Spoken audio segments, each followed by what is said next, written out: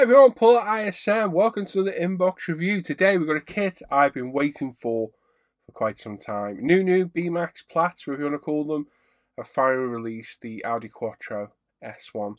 They released the S1 E2 a few years back, which I reviewed and built. Uh, no video build, sadly, but there's a review of it on the channel.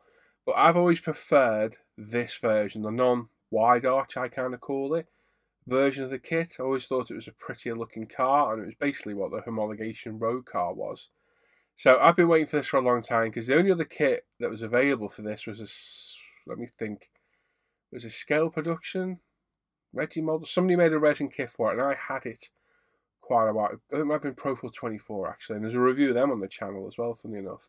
And it looked okay, but it always looked a little bit ropey in places. So as soon as B-Max, new new Platz, they're releasing this kit. I've been waiting and waiting and waiting, and it finally came in stock at UMP Ultimate Retail Product, Ultimate Modern Product, sorry.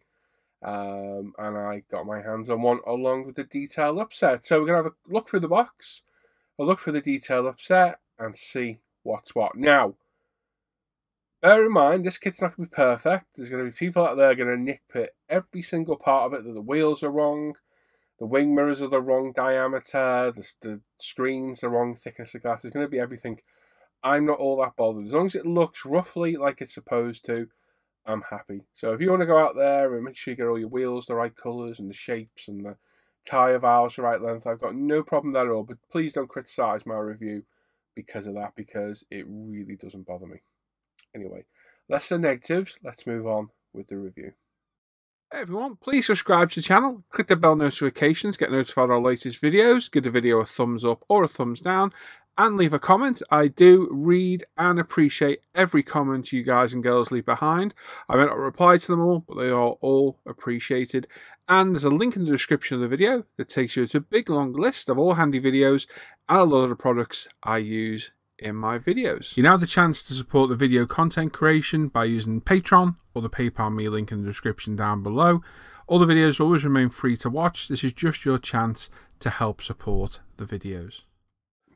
Right then, as I said in my intro, this is one kit I've eagerly anticipated its release for a long, long time. Um, so, very happy to get this. Let's just rook through my door about an hour ago. And uh, this is going to be my next video build, as I've said now about 20 times.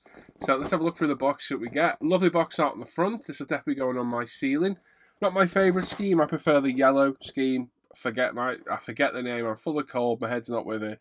So excuse me. But I like the yellow scheme. That's the iconic scheme for me. But this scheme, again, beautiful Audi. Uh, was this a factory scheme? I don't know. I haven't got a clue. You tell me. Let's do that again because that was terrible. So, as I said several times now, eagerly anticipated kit for myself. I love this car. This brings back memories of being a kid, watching these Group B monsters scream through the forests and stages and what have you. And although this isn't my favourite scheme, I know there's another one out. We'll be doing the box scheme for now. We'll do the other scheme when it's released um, publicly in the UK.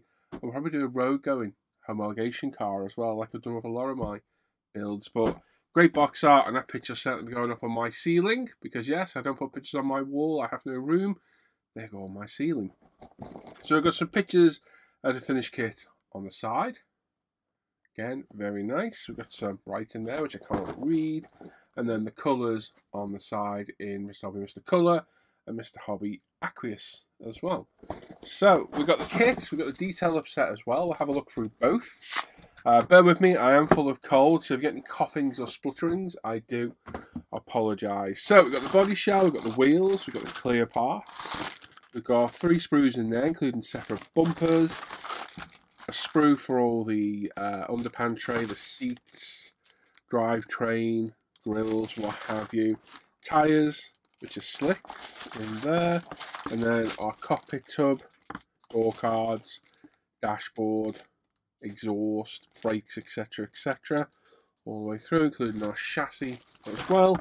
We've got a decal sheet and our instructions as well. So let's have a little look. We'll start with the body shell. One of the most important pieces. Going to plonk everything at the back over here. There may be some rustlings.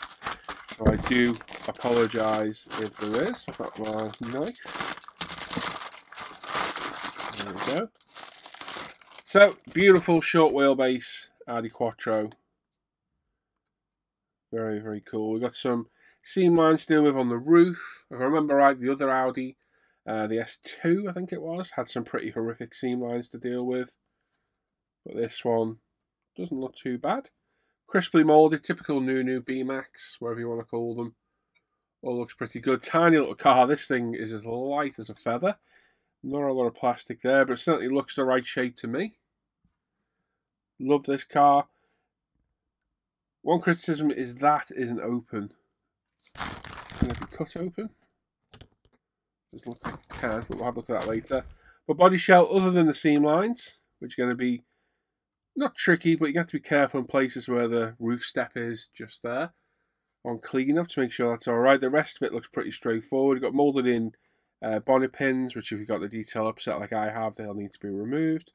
But overall, it looks pretty crisp and pretty straightforward. No issues there. Now, there's going to be people out there going to be like, that's all wrong. It's a millimetre too wrong in its door handle or the wheel arch, uh, obelisk, uh, angle, flange isn't the right wig or some other random stuff like. I don't care. Really don't. I don't want to see critiques in the comments. If you're not happy with the kit, that's fine. For me, this will look like an Audi S1. I'll be happy with the build because I'm not that into all the finer detail like that. It'll look good to me. I'm happy. So that's uh, we've got the window support there. The screens go on the outside from the new new B-Max kit, so we can leave that in while we get it all polished up. But overall, don't think that body is going to give us any real issues. Now we'll go with a bigger sprue. Do we need to cut these bags? No, we don't. They're the self-sealing ones. You know, Tamiya staples to complain about here. You know, I like to complain about those. Like I said, I do apologise about the rustlings. But it's a necessary evil. So, we've got the chassis. Typical chassis, no interior detail because it's all in the cockpit tub. Underneath, got a bit of detail there, but nothing really fantabulous. Cockpit's pretty sparse, as I guess it would be on the real rally car. You can add all sorts of this wiring, anything and everything to it. What we'll add, I don't know yet. We'll play that beer when we get to it. Dashboard, I've got some pretty decent detail it. Let me zoom in a touch for you. Pretty decent detail there. Steering wheel looks pretty good as well. Got some ducting. We've got our door cards there as well. Uh, like I say, not a huge amount of detail on the actual cockpit tub itself. We've got some foot plates there and footrest on the other side as well. Assumes a footrest anyway.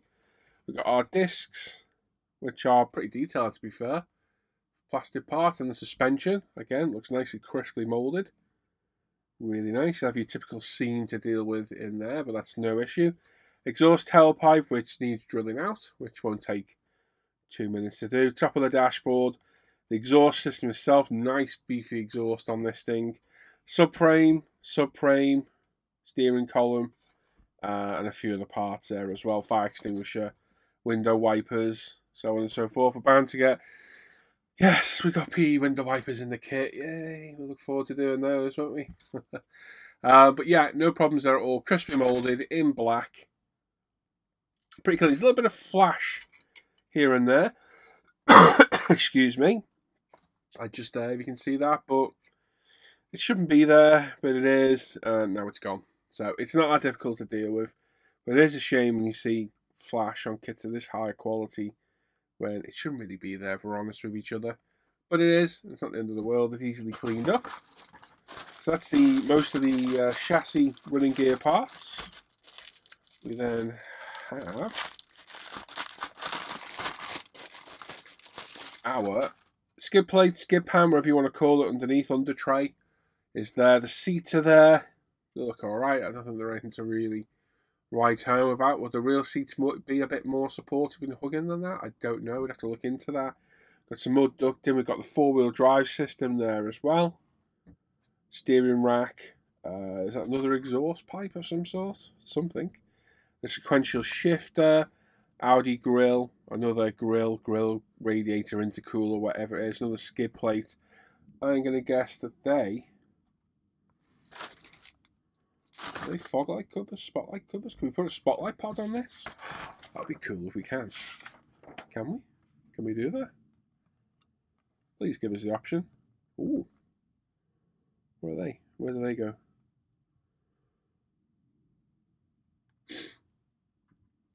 Are They're wing mirrors. Oh. Not going to give us a nice stage pod. That'd be nice, wouldn't it? No, it doesn't look like they do. I'm pretty sure they're the covers for it, unless I'm being absolutely crazy here. We'll have a good look through the instructions in a bit, but nothing to write home about here. The details there, nice and crisp. A little bit of flash here and there again. Overall, though, looks pretty decent. Nice, simple kit by the look of it. Don't think it's going to be too tax never build, as long as everything fits together. It is still under the B-Max name even though I think it's labelled Nunu. I think it's just over the manufacturer who actually makes the kits for them. But yeah, it looks alright. Typical Audi rings on the front grille. They look good. No problems there. We've got a little sprue here that looks to have the roll cage in here. Front bumper. Wheel. Z. So we've got a spare five spoke rim and a spare one of the rims that go with the kit. Yeah, look, see? We do get the spotlight pods. Oh, they're going on, that's for sure. I'll tell you that right now.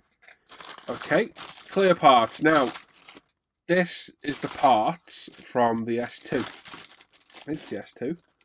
So the screen's the same. They also included the whole screw because they're the um, aerodynamic fins that go up the side at the front. So the good news is I've got a spare mask set for one of these, so that'll fit this. Thank you. So yeah, no problem there. I don't have any problems with the glass fitting on other Audi. So that shouldn't cause any issues. Let's go have a look at that in a second. So anyway, roll cage, accelerator, pedal box, etc. Brakes, roll cages there. A really overscale aerial there. Don't think we're using that one on antenna. Because it'll send down receive. Like I said, we've got a spare wheel there. Taking that off the old kit. Then we've got a spare wheel for the new. We've got our front bumper, some more grills. We've got our rear spoiler. So basically, by the look of it, they've added sprues to the existing kit that they already made. Excuse me. Let me have a quick drink. Kids, kids bringing cold home. Terrible. At least it is just a cold thankfully. We've got our wing mirrors there, various parts and stuff in there. Not quite sure what they are. Good door handles by the look of it. Again, all crisply moulded. No issues there whatsoever. Everything looks really good. Yeah, like I said, there's a few wisps, a flash here and there, but I don't intend to really be concerned about. It's easily dealt with. It's not like there's a whole sprue covered in it. It's just a little wisp So chrome parts in the wheels, so the wheels are the same as a spare. Again, a bit of detail on. They're probably wrong. Some companies out there probably screaming, going, they're wrong. They're not the right offset. They're the wrong plastic. Yeah, look alright to me. Not the most interesting of brake uh, of wheels. Chrome parts are pretty decent. Light lenses, uh, headlights, so on and so forth. Spotlight covers. Whether we'll put them on, I don't know. I'm sure we could do it so we can take them on and off. We'll have a look at that one. We'll see. So the chrome parts look good, no issues there. So yeah, that's all the actual styrene itself, bar the clear parts. Like I said, I built the other version, this kit, I think it's the S2, the, the wide arch, or the wide body kit version. Get this bag open, we'll have a look, eh? Let's just open that up fully. So you can go see the other review on the channel. Did it ages ago and built it a long time ago. And got a load of grief because I put a wrong decal in the wrong place. So clear parts. Yeah, there's no problem with those. Whilst they're not the most optically clear. They're clear. There's no real... There's a few smudges on them. But I don't think they're going to give any issues as such. Quite clear. So you've got your front rear glass and the side. These are all from the outside. So you're very careful clean up on these, and then we've got our spotlight covers, our headlight covers, tail lights, uh, front indicators. I'm taking it they are. So yeah, no problems at all on the clear parts. All nice and simple and easy. Tyres, We're in here with some polycaps and some of the mesh material for the grills, which we won't need. So we'll grab one tyre and the mesh. We've got our polycaps in there as well, five of them. You can see just there, if I zoom in a touch. So you got your typical mesh material for the grills, which looks alright when it's in, but we were using the PE because it'll look a lot, lot better. And then the tyres, they are slicks. Are they supposed to be slicks? Can't quite see. Probably not. It's probably supposed to have tread on it. I'll have a look, but a little bit of rubber flash inside, but that'll be gone and a seam to deal with in the middle. But again, just standard modelling techniques on that one. Shouldn't prove taxing for anybody of sufficient skill. Decals instructions, then we'll have a look at the detail upset. Now, like I said, I have reviewed this before, so there's going to be a lot of parts on this that are going to be very similar in that other kit. And instructions, the build is probably going to be very similar. Um, I think there's only a few parts on the body shell that are more likely going to be different, and the wheels and things like that. There's probably experts out there screaming at the screen. I go, no, you're wrong. This is different. Decals, B-Max new decals have always been pretty good. I can't see any issue there with those. They're nicely in register, nicely coloured. Nice satin finish to them. so they shouldn't cause any issues. And then the Audi markings themselves. Got a bit of marking on the decal itself from like the cornstarch material stuff they use on them. But that shouldn't prove any issue at all. Never had a real issue with the new new B-Max decals. They've always gone down really well. Do take a bit of stick as well. Will uh, conform quite well. And then we've got um, the Audi rings in there. And what I'm guessing are metallic decals for the wing mirrors as well. So nice little touch. And again, of course, you get the surrounds for the windows. But as I say, I've got a mask set, so we'll mask them because I think it looks better in my opinion. Let's just pop these back in here before they get damaged. There's always a, a fun trick to do because everything gets stuck to the bag. Okay, let's pop that back in the bag. We'll do that later. So, instructions. We got a bit of info on the car there. If you want to read it, you can pause and have a little read.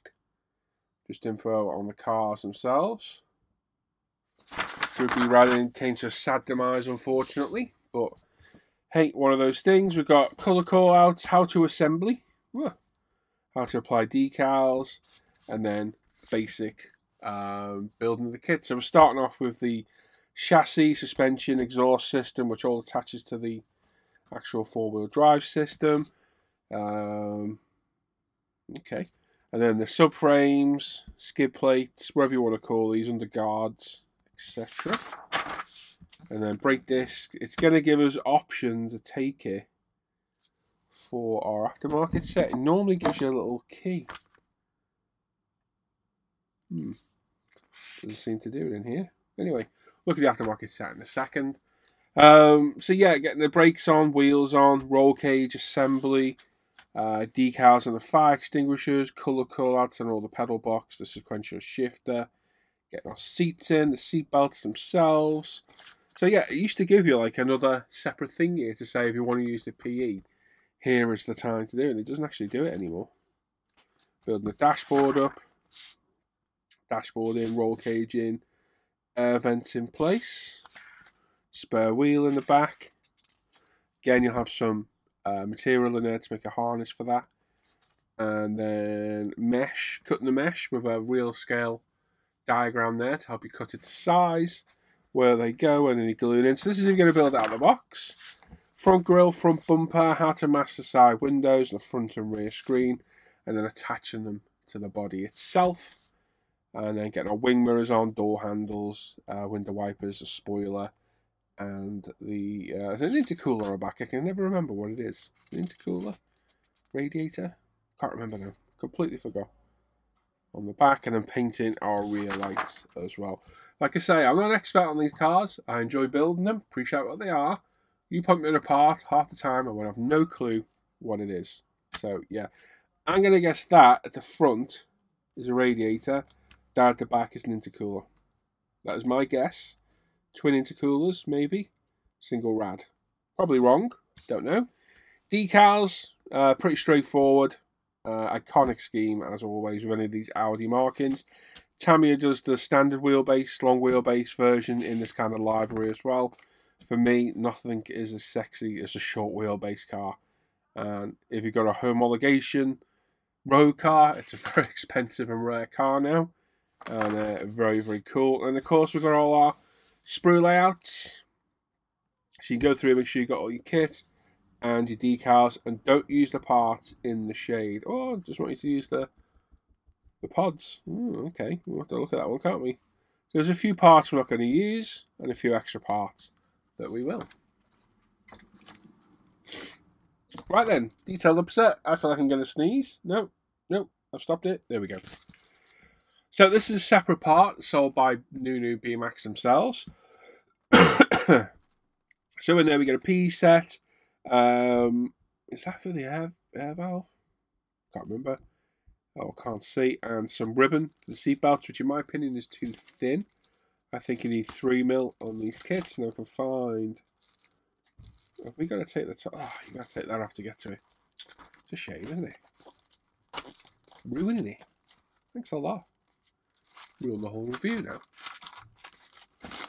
There we go. If we get all this out. Let's get all the bits out. Pop that to one side. Let's have a look. So that's a heavy sheet of PE, I'll give it that. Right then, so in here, we got separate instructions for all the photo etch. Again, paints required. Replace, got your replacement part numbers just there, what to do with it. Again, replacing discs, uh, things like that for the discs. Applying PE over PE, applying straps to fire extinguisher, making your harnesses. You only use the 2 mil belts, fine. I think it's too thin, personally. I think 3 mil is the right size. And then we've got grills as well, which I think you need to cut out by the look of it. We'll play that one by ear. Let's have a look. No, you don't. They're already hollow. So that's fine. Then on the back, cutting off the window mounts because there's PE parts to stick on. Front grill. Um, something on the side windows. Can't quite make out what that is. 8 and 15. Hmm. Don't know. But PE for what I guess is our intercooler. I might be wrong. Cutting off the bonnet pins as well to make them out of PE, which is worth doing because they do look better. Photo etch window wipers, while I moan about them, they do look a lot better. I've got to admit, they do look better. Um, but I still hate doing them. They're a pain in the backside. License plate, number plate, and then some mud flaps um, on the arches as well. So, as always, it looks to be a pretty worthwhile PE set. Looks to be decent quality PE. I love the grills, the quality of the grills on these PE sets is lovely. We've got a combination of squarish, round PE to honeycomb, which looks really good. Uh, all the bonnet pins look good. I'm just trying to see which is the best way around to look. Uh, harnesses look good, so if you to use the 2 mil, you'll be just fine.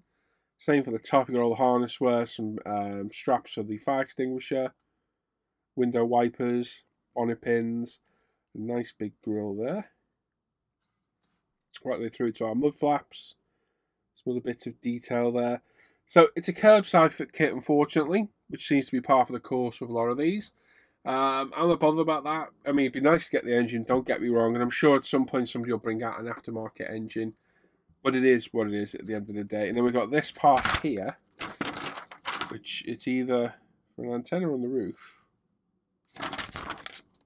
which there is no, or it's the air valve. It's a connector valve for the air, just the, the air jack I thought it was. So you get a little one of these there as well. And then we get some 2 mil ribbon for the belts, which if you want to use it, by all means go for it. And I'm going to assume it gives us a strap for the spare tyre. Because if not, I'll be making one with the spare bits of P we've got on there.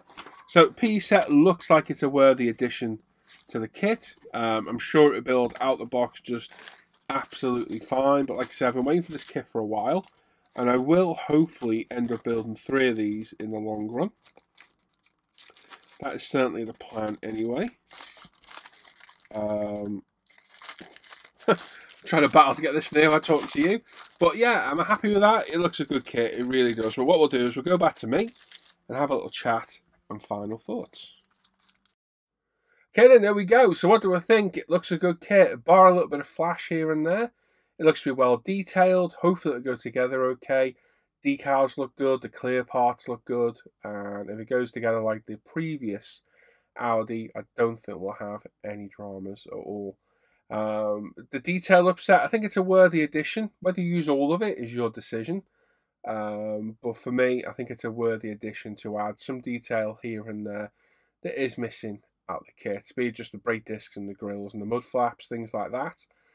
I think it is a worthy addition to the kit. So this is going to be my next build. So I'm hoping to start this tomorrow. So hopefully you'll see the first part of this after the weekend, maybe, hopefully. Uh, and like I said, I've been waiting for this kit for a long, long time. So very happy to see it. I'm very happy to start building it as well. So you've got the kit. What do you think of it? Like I said, I don't want to hear all the tyre valves are too short. What do you think of the actual kit? The moulding and things like that, does it look okay? They're not the cheapest kits to buy, but they are quite niche subjects. They're a bit like bell kits, but I think they're better quality than bell kits myself. Um, with the detail upset, you get a lot of extras in there as well. Like I say, not the cheapest of kits, not for everybody, but for a subject like this, where I've got a bit of passion for it, for me, it's money well spent. So like I say, stay tuned. It's going to be the next build on the bench. And uh, I hope you enjoyed that quick review. Don't want to hang around. I've already reviewed the kit, really. There's nothing much different, really, on the underside of this compared to the E2. I don't think, anyway. Um, so I wanted to get through it quite quick. There we go. As always, leave any comments, give us a thumbs up, subscribe to the channel, hit that bell notification. I read and appreciate all your comments, love reading them, they really spur me on. Sadly, I don't have time to answer them all because it takes up so many hours in the day doing it, but I do give everyone a heart. And if you ask a question, I try my very best to answer you. You can help support the channel by using my Patreon, which is linked in the description down below, and my PayPal me link as well. And without my patrons, there would be no more videos on this channel. It's quite as simple as that. So thank you everybody that's become a patron or donated so far. You're all absolute legends.